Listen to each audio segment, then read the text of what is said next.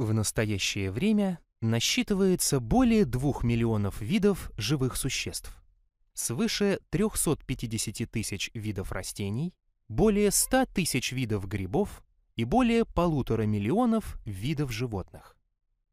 Причины такого многообразия организмов и их приспособленность к различным условиям жизни объяснил английский ученый Чарльз Дарвин, создав свою теорию эволюции.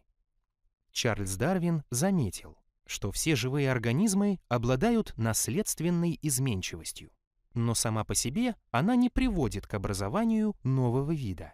Значит, существуют причины, определяющие процесс видообразования.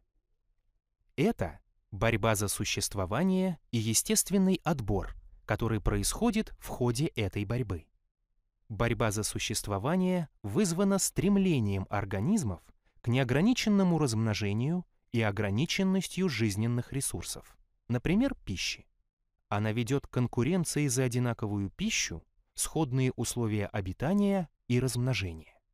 В результате выживают сильнейшие или особи с полезными в данных условиях признаками, то есть происходит естественный отбор.